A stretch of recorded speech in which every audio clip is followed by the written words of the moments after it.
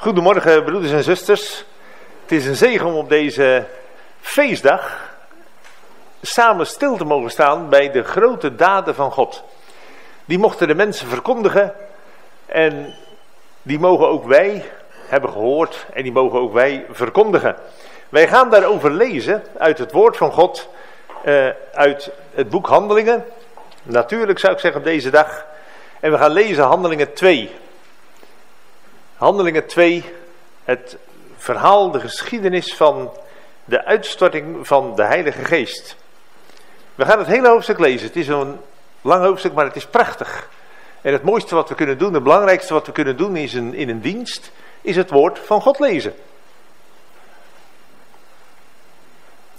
Handelingen 2. En toen de dag van het Pinksterfeest vervuld werd, waren zij alle eensgezind bijeen. En plotseling kwam er uit de hemel een geluid als van een geweldige windvlaag. En dat vervulde heel het huis waar zij zaten.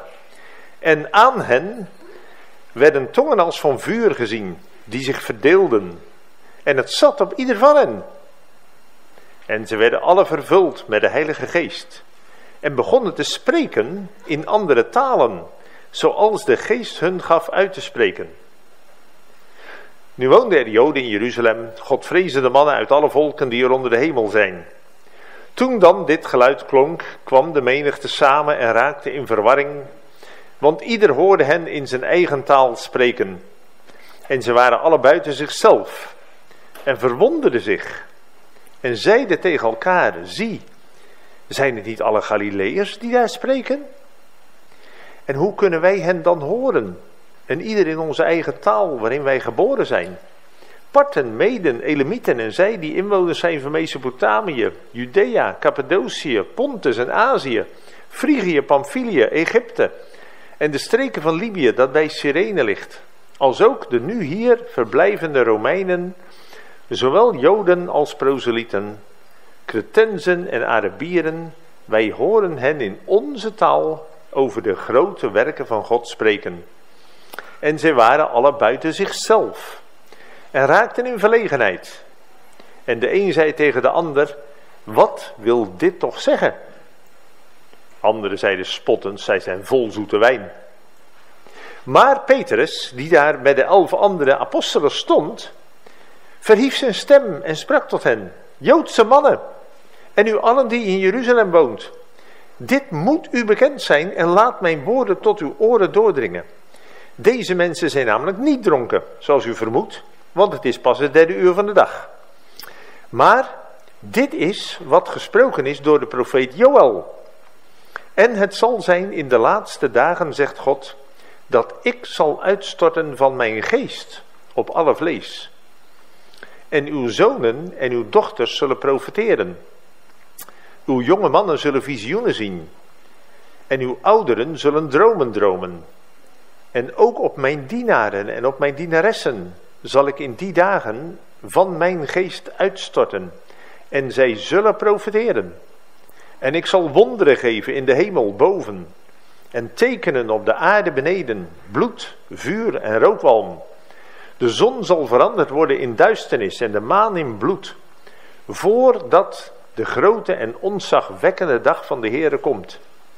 En het zal zo zijn dat ieder die de naam van de Heere zal aanroepen, zalig zal worden.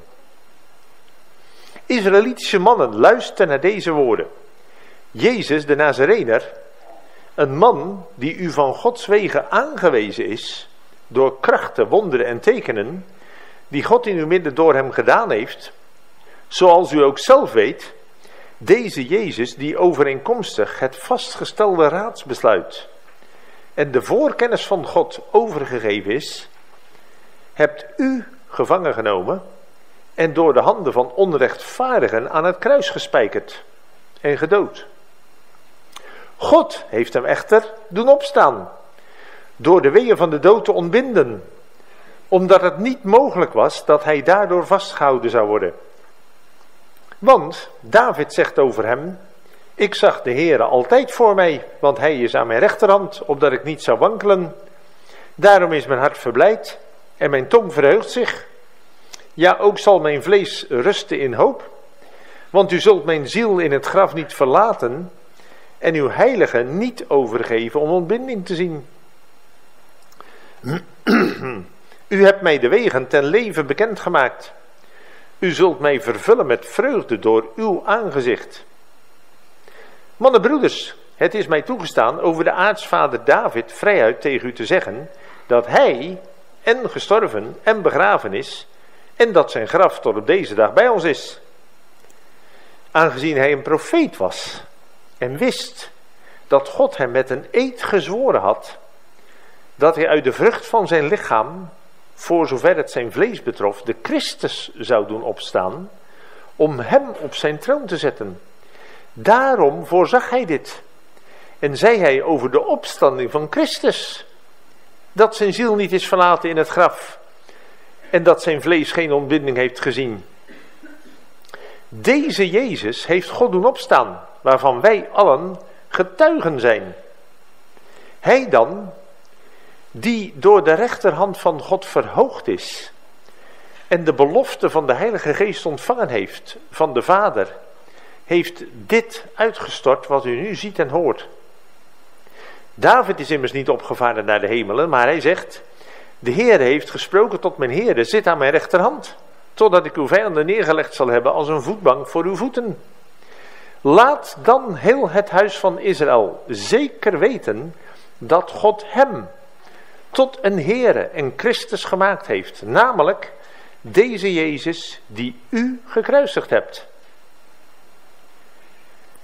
En toen zij dit hoorden, werden zij diep in het hart geraakt en zeiden tegen Petrus en de andere apostelen, wat moeten we doen, mannenbroeders? En Petrus zei tegen hen, bekeer u en laat ieder van u gedoopt worden in de naam van Jezus Christus tot vergeving van de zonden. En u zult de gave van de Heilige Geest ontvangen. Want voor u is de belofte, en voor uw kinderen, en voor allen die veraf zijn, zoveel als de Heere onze God ertoe roepen zal. En met veel meer andere woorden legde hij getuigenis af. En spoorde hij eraan met de woorden, laat u behouden uit dit verkeerde geslacht. Tot zover het woord van God. En dan heeft u ook het hele hoofdstuk gehoord vanmorgen.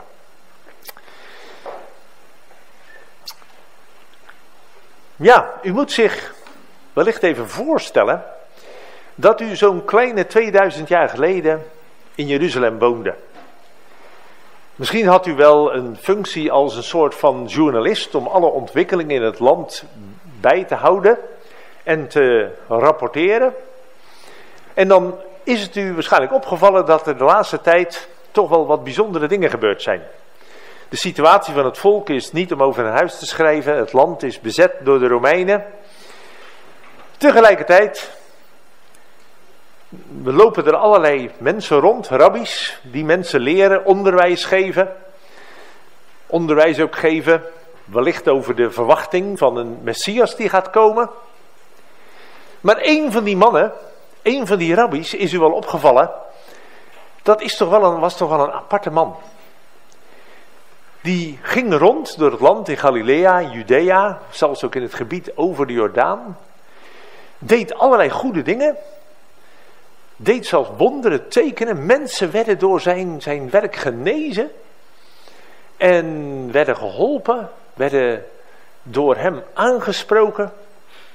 Hij deed allerlei goede dingen en hij was ook best wel populair op een bepaald moment. Maar hij was ook radicaal. Hij zei waar het op stond. Hij zei waar het echt om ging om God te dienen.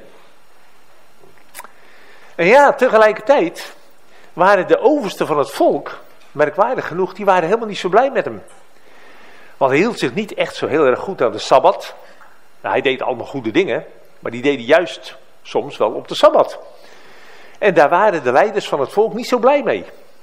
En uiteindelijk bleek toch dat mede door zijn radicale boodschap en door wie hij was en ook door de reactie van de leiders van het volk raakte deze man toch uiteindelijk zijn populariteit kwijt. En hij werd op een gegeven moment gepakt. Hij werd gevangen genomen.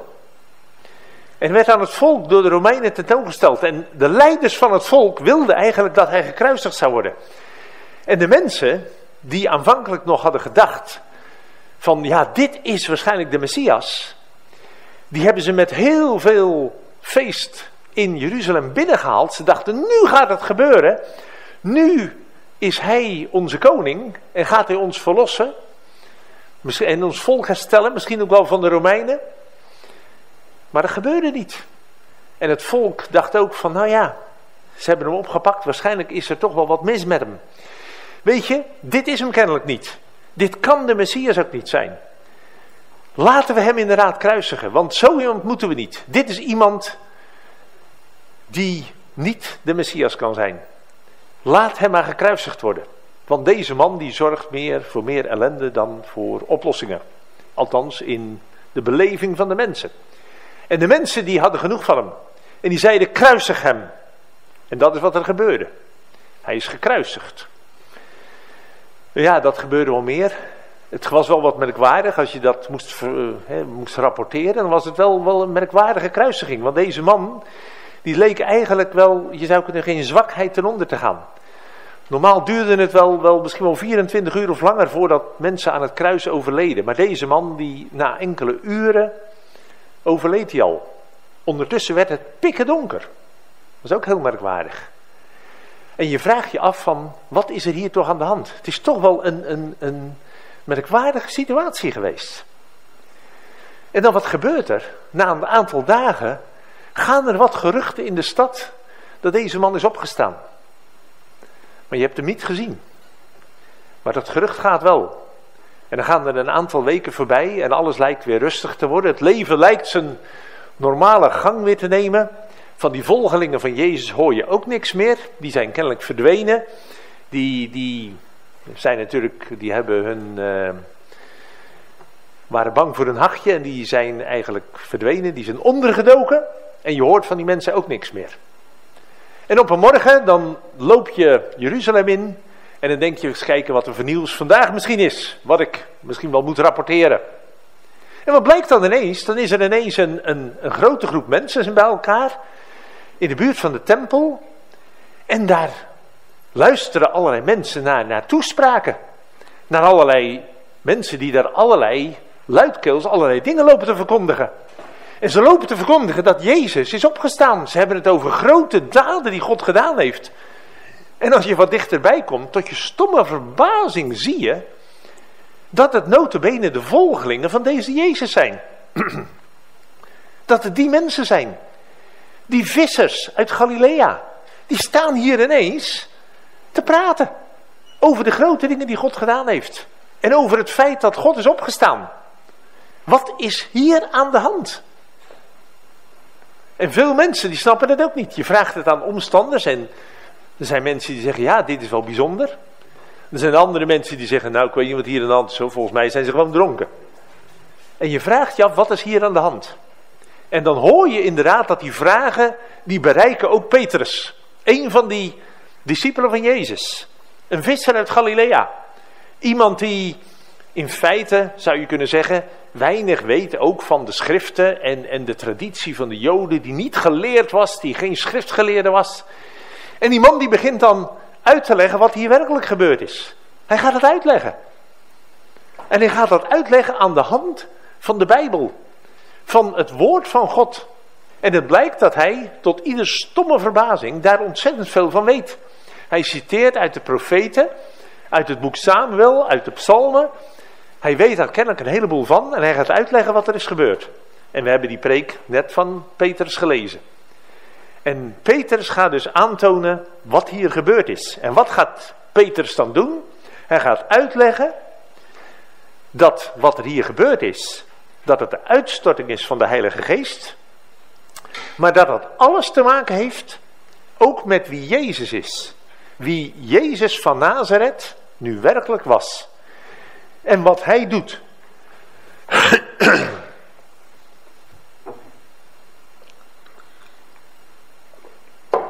En daar willen we dus met elkaar ook vanmorgen over nadenken. Over die preek van Petrus. En dan zullen we niet die hele preek in detail na kunnen gaan. We hebben het met elkaar gelezen. Maar het gaat om, vooral om de centrale boodschap die Petrus aan het eind van zijn preek geeft. De conclusie zou je kunnen zeggen. De climax van zijn preek. Die we lezen in de laatste versen, vers 32 tot 36. En dan zou je kunnen zeggen, vooral ook vers 36, wanneer hij zegt, laat dan heel het huis van Israël zeker weten dat God hem tot een Heere en Christus gemaakt heeft, namelijk deze Jezus die u gekruisigd hebt. Nou, Petrus gaat dus laten zien wat hier gebeurd is. En hij laat ons dus weten dat Jezus en Heere is en Christus.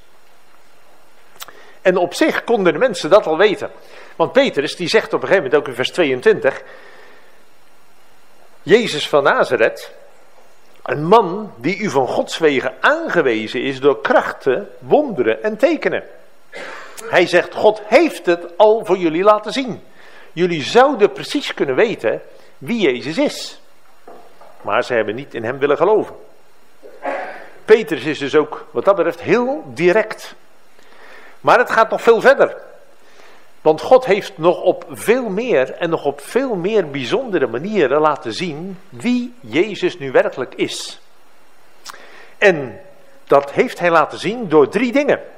Want dat is wat, wat eigenlijk de samenvatting ook is van de preek van Petrus in vers 32 tot 36. Hij zegt eigenlijk, er zijn nog drie dingen waardoor je dit precies kan weten. Allereerst door de opstanding van Jezus.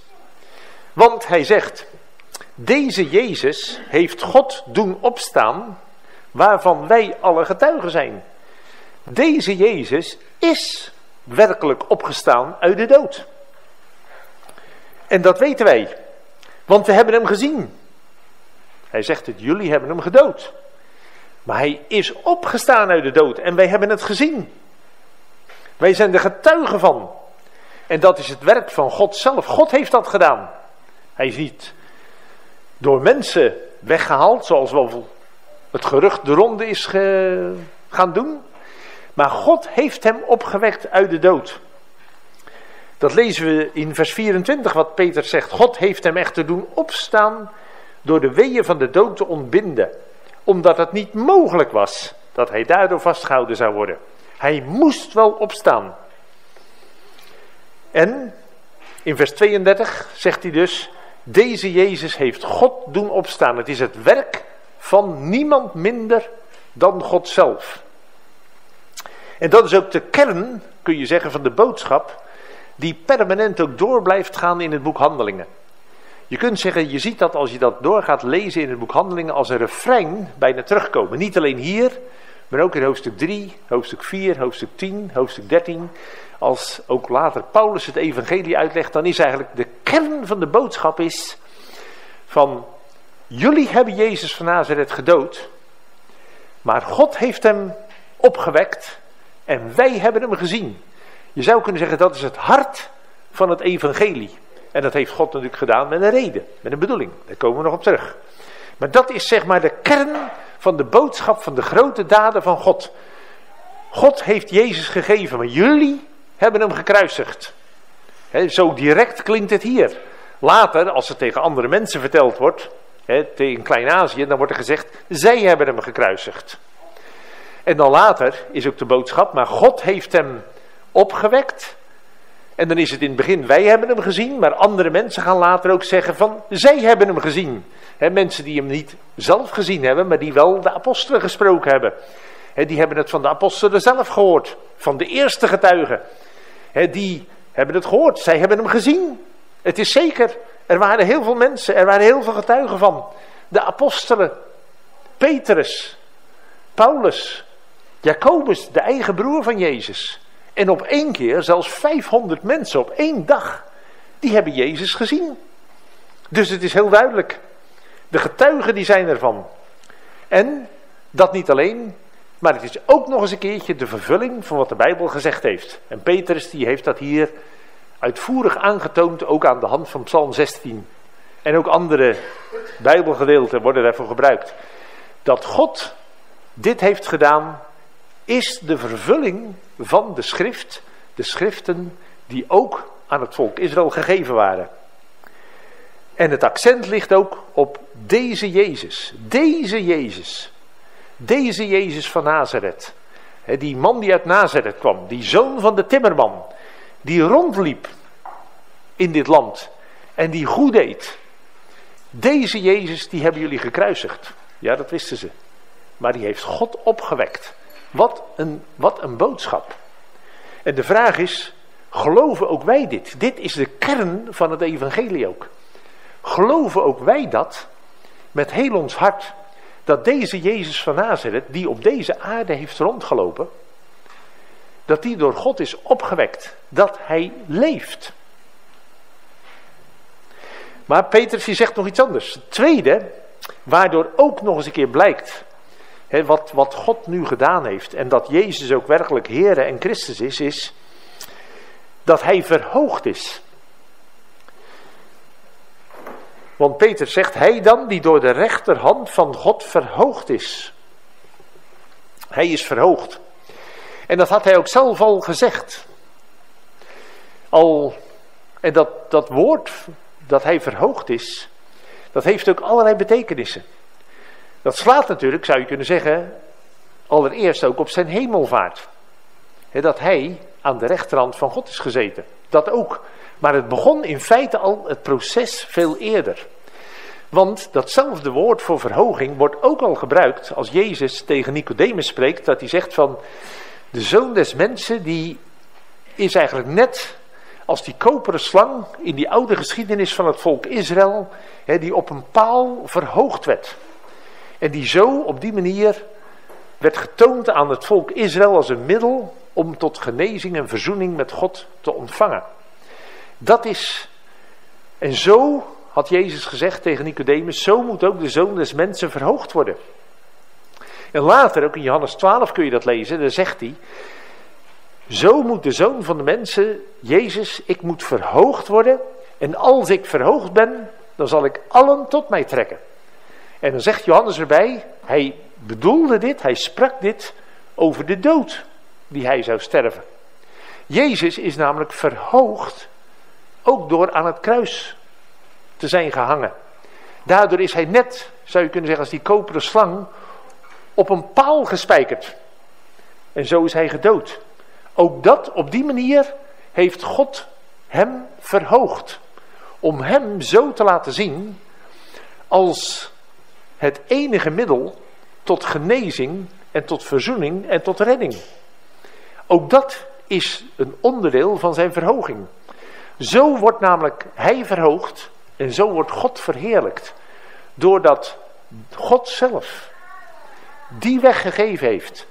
Doordat hij zijn zoon gegeven heeft. En zijn zoon heeft overgegeven in de dood.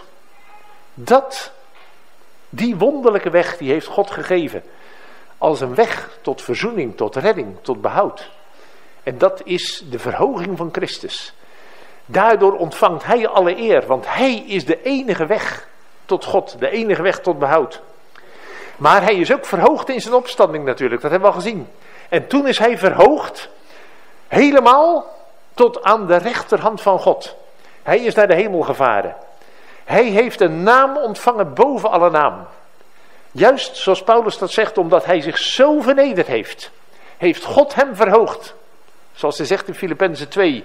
En heeft hij hem een naam gegeven boven alle naam. Hij is gezeten aan de rechterhand van God. Dat is wat God gedaan heeft. En dat is ook een, de vervulling van de belofte. Want hij zegt ook, in, hij voegt er nog aan toe, in vers 34 en 35, dat het ook de vervulling is van wat God heeft gezegd tegen David, of door middel van David, in Psalm 110, waar het gaat over dat David zegt, de Heere heeft gesproken tot mijn Heere, en die mijn Heere is de Christus, de beloofde Messias, de beloofde koning, de beloofde priester, zoals ook in Psalm 110 staat, priester, naar de ordening van Melchizedek. Deze Heere zit aan mijn rechterhand. Dat heeft God beloofd. Door middel ook van David. Dus dat is ook vervulling van het woord van God. En dan, in de derde plaats, heeft God dit ook laten zien dat Jezus dus Heere en Christus is, doordat de Heilige Geest is uitgestort. De Heilige Geest is uitgestort. Dat is wat God ook beloofd had. Ook in de schrift, op allerlei plaatsen. He, Peters had het al laten zien. Hij citeerde al uitvoerig de tekst van de profeet Joel. dat God dat in het laatste van de dagen zou doen. Dat hij zijn geest zou uitstorten. En ook andere profeten hebben erover gesproken. Denk maar aan Jezaja. Denk maar aan Jezaja, die prachtige tekst ook in Jezaja 44. Waar God door middel van Jezaja zegt. Ik zal water geven op het droge. En stromen op de dorstige. En ik zal van mijn geest op uw nakomelingen geven. En mijn zegen zal ik geven. Waar God die belofte heeft gegeven. Juist misschien op een plaats en op een moment dat je het helemaal niet meer verwacht, zal God zijn geest geven. En dat heeft hij gedaan. Denk ook maar aan, aan de profetieën van Ezekiel. Als je dat kunt lezen in hoofdstuk 36 en 37 en 39, dan staan er allerlei verwijzingen in dat God zijn geest zal geven. En die zal werkelijk leven geven. En waarom? Omdat hij de aandacht zal vestigen op Jezus Christus. en zo zal laten zien dat deze Jezus werkelijk Heere en Christus is. Hij is gezet aan de rechterhand van God. En daar vandaan regeert hij. Betekent niet dat hij is weggegaan en nu de zaak maar overgelaten heeft aan de machten van deze wereld. Nee, hij is gezeten aan de rechterhand van God de Vader om van daaruit te regeren. En hij regeert in deze wereld door zijn heilige geest die hij gegeven heeft. Want hij gaat namelijk door om zijn plan te voltooien tot redding tot van de mensheid. Wat uiteindelijk zal uitlopen op een nieuwe mensheid en een nieuwe hemel en een nieuwe aarde. Dus de uitstorting van de Heilige Geest, die bevestigt, je kunt zeggen ook de eerste twee punten, dat Christus is opgestaan en is verhoogd. En dat betekent dat Jezus nu de belofte die hij zelf van de Vader ontvangen heeft, heeft vervuld. Want hij heeft de Heilige Geest uitgestort. Dus zo zien we dat dit het werk is van de drie enige God. De Vader die heeft zijn Zoon gegeven.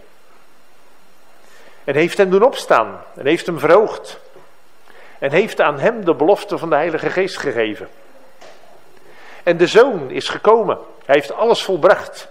En hij heeft de Heilige Geest uitgestort. En de Heilige Geest is uitgestort. En hij doet zijn machtige en zegenrijke werk in deze wereld. En in de harten van mensen. Zoals Jezus heeft beloofd. En daarmee gaat hij door. Ook nu.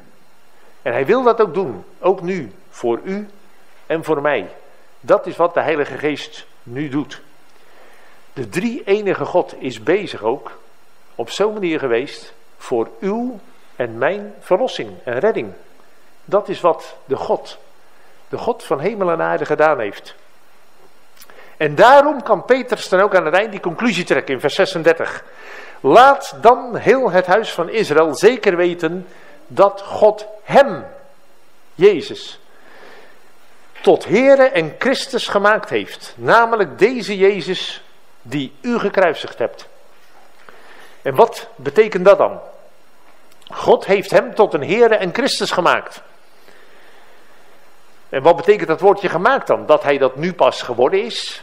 dat, dat God heeft gedacht van nou, nu Jezus dit allemaal gedaan heeft, nu is het wel een goed idee om hem als het ware Heer en Christus te maken.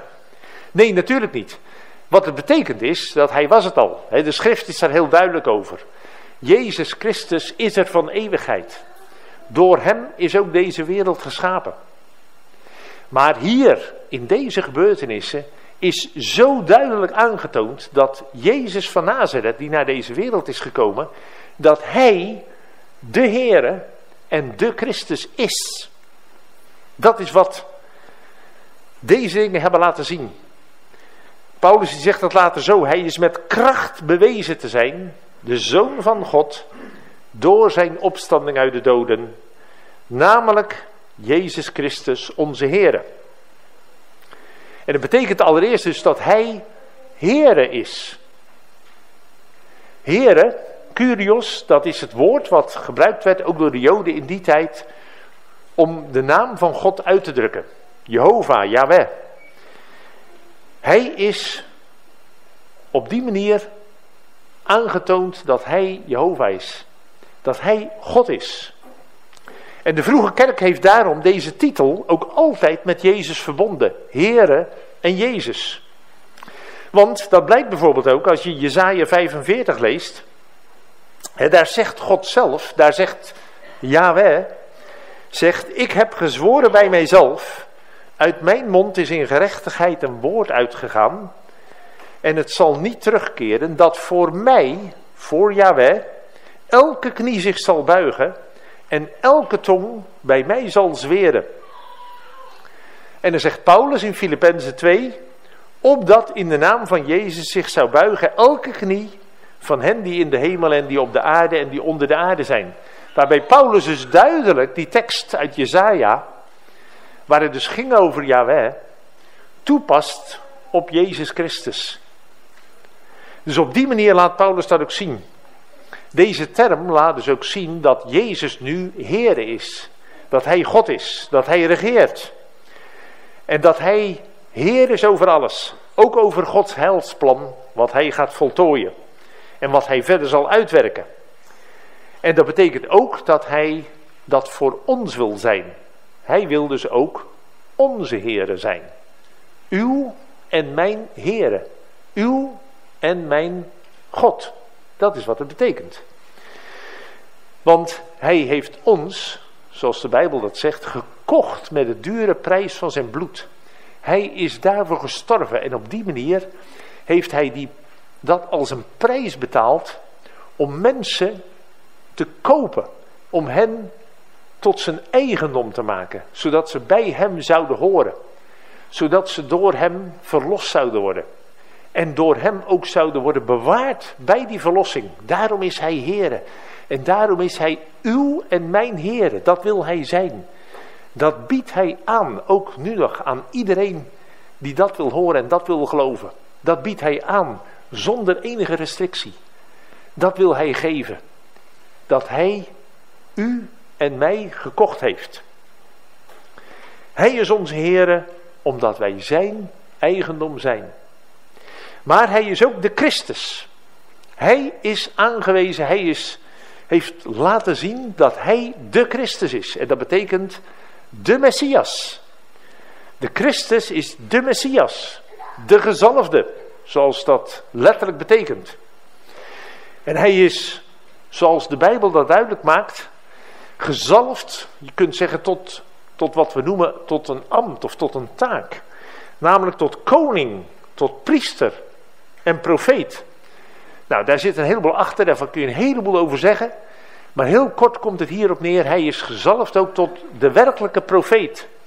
Hij is, zou je kunnen zeggen, de climax van alle profeten die er geweest zijn. Hij is de allerhoogste profeet en leraar. Profeten zijn de mensen die de, de boodschap van God aan de mensen doorgeven.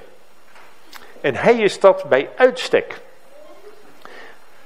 En dat betekent ook dat hij wil u en mij ook leren, ook nu nog. door het woord wat hij gegeven heeft, wil hij ook onze profeet zijn. Om ons alles te leren over wat hij gedaan heeft en wie hij is. Maar hij is ook onze koning en onze priester. Hij is dat samen. Hij is dat de koning-priester die beloofd is in Psalm 110. Hij is onze koning. Hij regeert. Hij bestuurt alle dingen, ook in deze wereld, voor ons. En hij wil ook uw leven regeren en besturen. En hij is onze priester. Hij is namelijk degene geweest die het offer gebracht heeft. En dat is het bijzondere. Hij is een priester die het offer gebracht heeft. Maar dat offer was hij ook zelf. Hij is degene die ons bij God vertegenwoordigt. Hij is degene die ingegaan is. Die bij God is gekomen. Wij konden niet bij God komen vanwege onze zonde. Maar hij is bij God gekomen. Hij mocht als het ware door dat voorhangsel, hè, wat in de oude tabernakel en de tempel scheiding maakte tussen God en de mensen. Hij is daar doorheen gegaan. Het moest daarom wel scheuren. Daarom moest het, zijn lichaam verscheurd worden aan het kruis. Dat was de enige manier waarop hij ook in de aanwezigheid van God kon komen. En ons daarin mee kon nemen zodat wij nu ook bij God kunnen komen. Maar hij is ons voorgegaan. Hij is de eerste. Hij is als eerste opgestaan uit de doden. En hij is als eerste bij God gekomen. In de hemel. En hij vertegenwoordigt daar ons. Hij is daar nu. Om voor u en voor mij te bidden. En dat doet hij als priester. En zo is hij dus de Christus. En dat is de boodschap die Petrus dus nu hier, want we zijn dus nog steeds in Jeruzalem, we horen dit Petrus allemaal zeggen.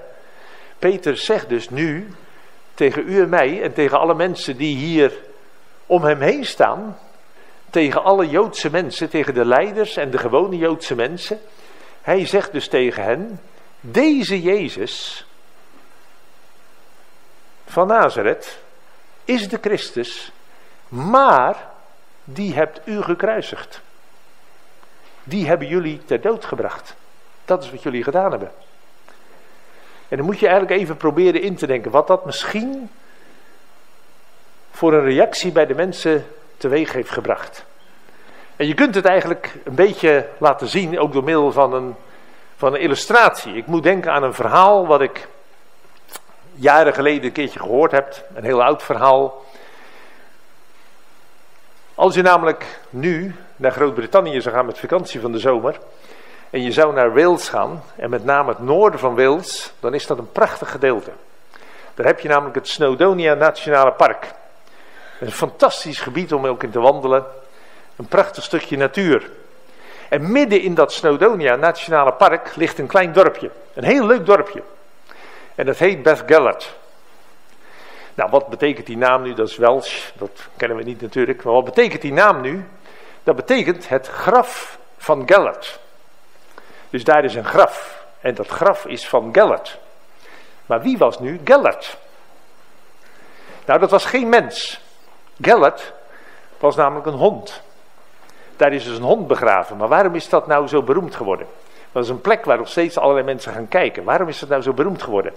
Nou, het verhaal gaat dat in de 13e eeuw was er een prins die daar in Noord-Wales het land bestuurde.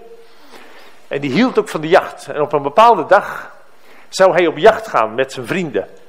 En hij zocht zijn jachthond, Gellert, om met hem mee te gaan op jacht. Maar die hond was er niet.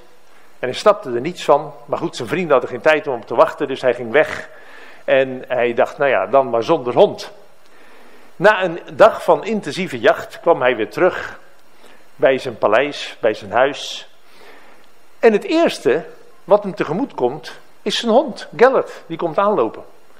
Maar zijn bek zit vol bloed en zijn hele vacht zit vol bloed. En hij denkt, wat is er gebeurd met die hond? En hij volgt die hond naar binnen toe. Hij volgt het bloedspoor. En dat leidt eigenlijk tot het wiegje, het bedje, waar zijn kind in was. En daar ligt ook een plas bloed. En hij begrijpt wat er gebeurd is. Zijn kind is er niet. Zijn kind is weg uit het bed, uit de wieg. En hij snapt wat er gebeurd is. En hij pakt zijn zwaard. En hij doodt zijn hond. Hij slaat hem de kop bijna van zijn romp. En op het moment dat de laatste doodsjank van die hond klinkt, hoort hij ineens een ander geluid. En hij hoort zijn kind. En hij volgt het geluid. Hij loopt verder naar zijn huis. En blijkt dat het in de tuin is. En daar ziet hij zijn kind, zijn baby. Kerngezond. Niks meer aan de hand. Maar wat ligt ernaast? Zijn kind. Daar ligt een grote wolf. Een enorme wolf. Die ook onder het bloed zit. En die dood is. En nu snapt hij werkelijk wat er gebeurd is. Want wat is er namelijk gebeurd? Die wolf is gekomen, heeft het kind aangevallen. En Gellert heeft met de prijs van zijn leven voor het kind betaald. Hij heeft ervoor gezorgd dat het kind in leven bleef. Hij heeft het kind gered. En wat heeft de prins gedaan? Als dank heeft hij zijn kind, zijn hond, gedood. En hij was er zo door ontdaan dat hij zijn hond een begrafenis heeft gegeven en een steen op zijn graf gelegd heeft. En hij heeft sinds die tijd nooit meer in zijn leven kunnen lachen. Dat is het verhaal van Gellert. En dat graf kun je nu nog zien in, als je naar Beth Gellert gaat in Noord-Wales. Dan kun je dat verhaal horen. Nou, zoiets, zo'n emotie, dit is natuurlijk maar een verhaal en dat gaat over een hond. en uh, dat is natuurlijk niet het allerergste. Maar zoiets, hè, die, die, die emotie die die man op een gegeven moment voelde van ik heb de redder van mijn kind, die heb ik gedood. Zoiets moet je voorstellen, is natuurlijk nog op veel grotere schaal hier aan de hand als Petrus zegt tegen de Joden. Jullie Messias, die jullie eeuwenlang verwacht hebben, waar jullie naar uitgezien hebben, die is gekomen. Hij is het land doorgegaan. Hij heeft alleen maar goed gedaan. En wat hebben jullie gedaan? Jullie hebben hem gedood. Dat is wat jullie gedaan hebben. Zelfs nog de meest afschuwelijke dood die je maar kunt bedenken. Hij is aan het kruis genageld en gestorven. Dat is wat jullie gedaan hebben. En dan kun je je voorstellen natuurlijk dat die mensen zo werkelijk volledig ondaan zijn natuurlijk. Dat ze zeggen van, help mannenbroeders, wat moeten wij doen? Ze zijn de wanhoop nabij. Want wat hebben ze gedaan? Ze zien het nu in één keer. De Messias, die ze verwachten, die beloofd was. Het hoogtepunt, waar de geschiedenis van het volk Israël naartoe zou lopen. Die hebben zij gedood. Maar dat is nu juist dan de boodschap van Petrus. Dat is het evangelie. Dit is dus wat God gedaan heeft. Want God heeft zijn zoon gegeven als een losprijs voor velen. Hij heeft zijn zoon gegeven juist door om te sterven. Juist doordat hij gestorven is, is er redding en verzoening mogelijk. Juist door zijn lijden en sterven. Door zijn verhoging. Door zijn opstanding. Juist door al deze dingen. Deze Jezus die jullie gedood hebben. Die heeft God namelijk opgewekt. Dus God heeft jullie daad in feite teniet gedaan. Sterker nog, het was precies zoals God het allemaal bedoeld en besloten had. Dat zegt Petrus ook namelijk. Want hij zegt in vers 23 dat God dat gedaan heeft overeenkomstig het vastgestelde raadsbesluit en de voorkennis van God. En dan zegt hij, jullie hebben dat wel gedaan, maar God had het besloten. God heeft dit zo besloten en heeft op deze manier laten zien dat deze Jezus die jullie gekruisigd hebben, dat is waar, dat is een feit. Maar die heeft hij zo tot Heere en Christus gemaakt. Dit is de Messias.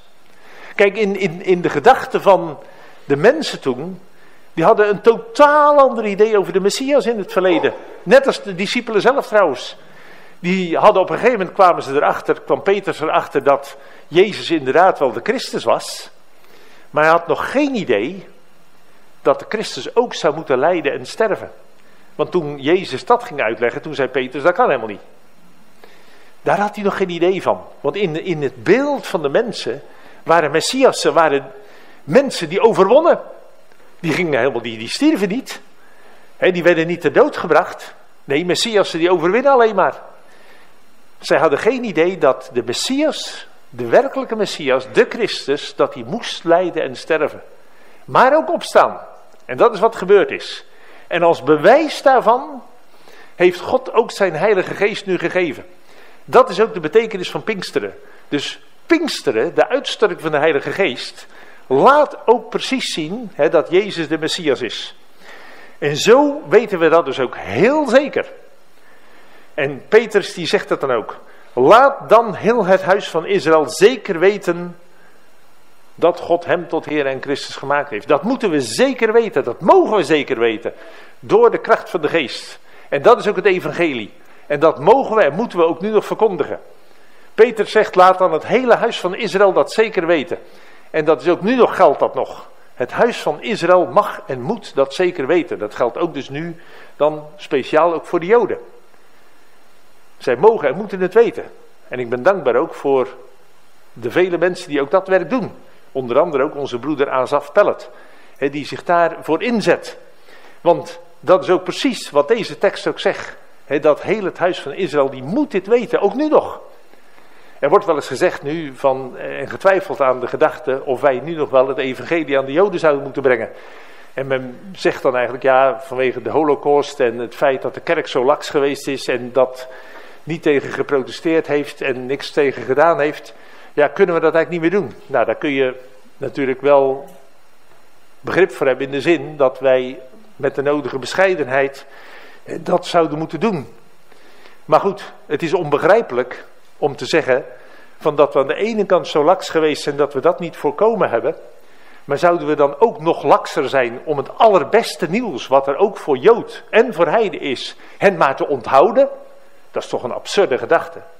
Dus heel het huis van Israël moet zeker weten dat God hem tot een Heer en Christus gemaakt heeft. En dat geldt dus voor Israël. Dat geldt voor de mensen aan wie, tot wie Peter sprak. Maar dat geldt voor heel het volk Israël. En dat geldt, gaat zelfs nog veel verder. Want dat is de boodschap van het boek Handelingen. Dat het namelijk nog veel verder gaat. Dat ook mensen uit de heidenen, je kunt zeggen, aan het volk Israël worden toegevoegd. Dat ook zij erbij mogen horen, dat het evangelie verder gaat. En dat was ook voor Petrus nog wel even een ontdekkingstocht. En dat kun je ook in handelingen lezen. Maar zij mochten dat weten. En ze mogen zien dat God ook op die manier zijn belofte vervult. Want God had al door middel van Jezaja gezegd... van het is eigenlijk mij veel te weinig... Hè, om mijn knecht alleen maar de stammen van Israël te laten herstellen op deze manier. Nee, ik wil dat, zij ook, dat hij ook een licht is voor de heidenen. Dat ook de heidenen door hem tot geloof en bekering en behoud komen. Dat is wat God wil en dat is wat God nu ook aan het doen is. Vandaar dat het evangelie uitgaat naar heel de wereld. En daar heeft Jezus zelfs ook door zijn kruis verzoening gebracht. Verzoening tussen mensen en God, maar ook tussen mensen onderling. Zoals Efeze 2 zegt. Dat is wat God gedaan heeft. En zo mogen wij weten hè, wie Jezus is. Door het werk ook van de Heilige Geest die hij heeft uitgestort. Nou, de vraag is nu, en daar sluit ik mee af. Hoe weten wij dat nu? dat ook ons de Heilige Geest is gegeven. En dat wij dit ook kunnen kennen. Hoe weten wij dat nu? Hoe komt dat nu ook in deze wereld, in ons leven, tot uiting? Wat merken wij daarvan? Nou, natuurlijk, allereerst, als wij ook toch een besef hebben gekregen dat wij niet zonder God kunnen leven. en dat wij verkeerd zijn, dat wij zondige dingen doen, dat wij niet voor God kunnen bestaan, dan is dat het werk van de geest die u dat heeft laten zien. En als wij eigenlijk in onze nood, in ons besef van onze zwakheid, onze onvolkomenheid, onze zondigheid, als wij tot God roepen, dan is dat door de Heilige Geest die doorgaat met dat werk, die dat ons laat zien. En als wij ontdekken ook met de mensen hier, tot onze stomme verbazing, dat de Jezus die wij verworpen hebben, waar we misschien lange tijd niks van wilden weten, maar dat God hem juist op deze manier heeft aangewezen en heeft laten zien dat hij werkelijk de Heer is, de Messias, de Christus, de Verlosser, voor jou en voor mij, dan is dat dus ook het werk van de geest. Dan is het de geest die je ook leidt en die je ook dat geloof geeft en die bewaart, die jou ook bewaart bij die verlossing. Die jou ook dat geloof in jouw leven tot in stand houdt. Ook te midden van alle dingen die er dan in je leven kunnen gebeuren.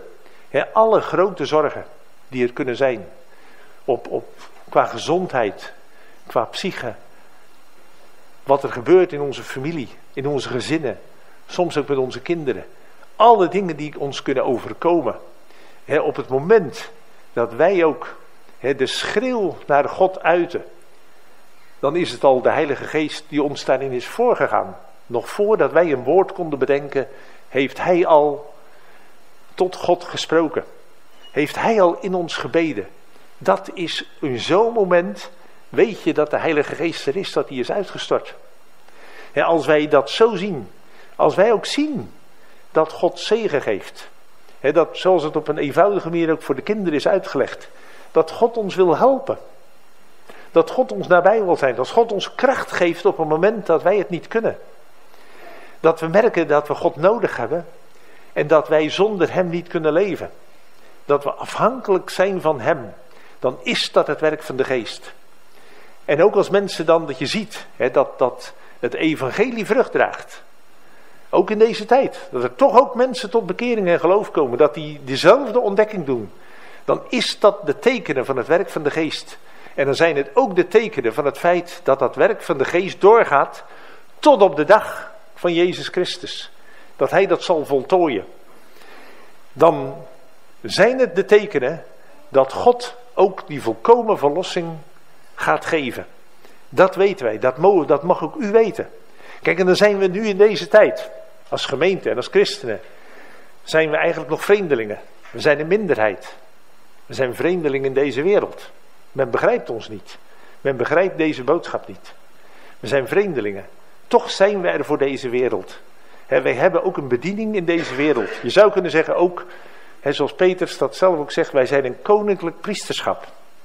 wij hebben ook een, een priesterlijke taak om er in deze wereld te zijn, om er ook voor deze wereld te zijn, door de verkondiging van het evangelie en om de liefde van Christus te laten zien. dat mogen wij ook nu zo laten zien. En als wij dus zo op die manier ook verlangen naar die komst van Jezus Christus, waar Hij uiteindelijk zijn nieuwe hemel en nieuwe aarde zal vestigen, waarop werkelijk gerechtigheid woont, waar geen ziekte en geen narigheid en ook geen zonde en geen dood meer zal zijn, dan roepen we als het ware van kom Heer Jezus kom. En als die schreeuw ook in ons hart leeft, dan is dat de Heilige Geest. Want Johannes had het gezegd, de geest en de bruid. De geest zegt dat ook. Kom Heer Jezus. De geest zelf verlangt daarnaar. En zouden wij daar ook niet dan daarnaar verlangen? Maar dan is het zo belangrijk hè, dat wij Hem nu kennen. Dat wij ook ons nu hebben gericht op deze Jezus Christus. Want zoals Petrus ook zegt, het zijn de laatste dagen. Dit zijn de laatste dagen. Dat is waar Joel ook mee begon. In de laatste dagen gaat God dit doen. Er komen geen andere dagen meer, zou je kunnen zeggen. Het zijn de laatste dagen. En daarom is het zo urgent dat wij nu ons geloven en vertrouwen stellen op deze Heere en deze Christus. Maar Hij komt, dat weten we zeker. En Hij komt om recht en gerechtigheid te vestigen en om Zijn naam te vestigen voor eens en voor altijd, tot glorie van Zijn naam. Amen.